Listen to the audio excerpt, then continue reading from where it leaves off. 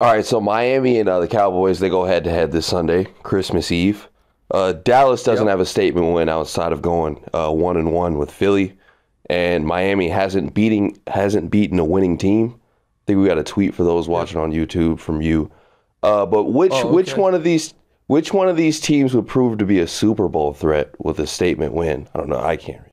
Oh, oh, that's fine. So the tweets from NFL on CBS: Cowboys Dolphins will be the first game in NFL history between teams with 20 combined wins, but one or fewer against teams above 500. Cowboys one and three against teams above 500. Dolphins 0 and three against teams above 500. So before I answer the question, something on the above 500 stuff.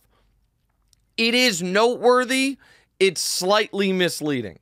So here's the question I would ask the audience Will you think the Cowboys are a far better team than you think they are right now if the Rams beat the Saints tonight? The Rams beating the Saints should have no impact on what you think of the Cowboys, right?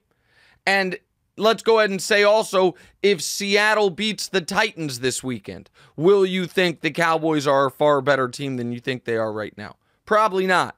But if those two things happen, all of a sudden the Cowboys have three wins against teams above 500.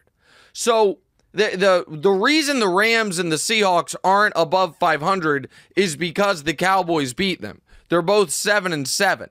And so I understand the oh you beat up on bottom feeders critique, but two of the Cowboys wins came against teams that I think are going to be playoff teams potentially. Certainly the Rams and possibly the Seahawks, and right now those don't count as above 500 wins, but they might by the end of the year. Now, to the question about uh uh, about who proves to be a Super Bowl threat with a statement win this week, I think it's Dallas.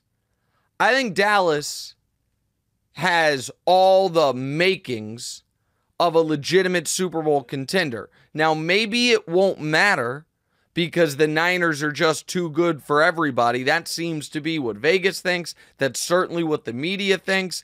Every NFL conversation seems to be polluted by the fact that the vast majority of the media seems to think the whole league is, as you would say, Demonte, mid or worse, except for the to the Niners, Niners? And, and maybe the Ravens.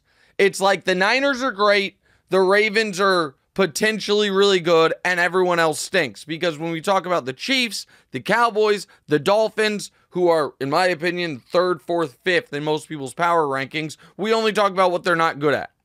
So if we're only picking apart top, you know, teams that are consensus top five, the other, you know what? Let me change it. I think the media actually thinks there's three good teams.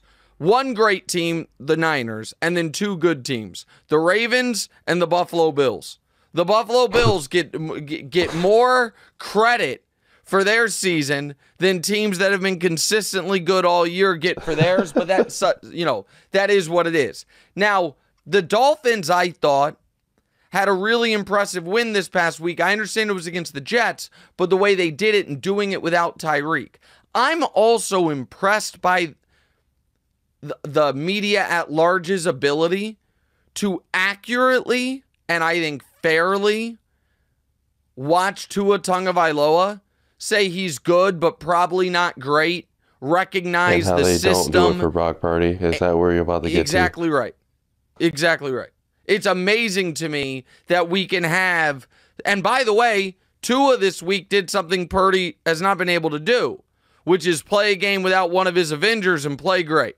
We're yet to see that from Brock this year, but for some reason, I've got to deal with Brock Purdy being an overwhelming favorite to win league MVP and Tua, whose numbers aren't as good, but they're in the same ballpark, has just been totally dismissed as a candidate, as he should be, by the way, because people are like, oh, it's Tyreek. We see Tua do it without Tyreek. Nobody cares. It's a weird thing going on. With all that said, I think Dallas wins. Miami's in with a bunch of injuries. None of their their entire offensive line missed practice yesterday. That seems like a problem. We don't know if Tua is going to play.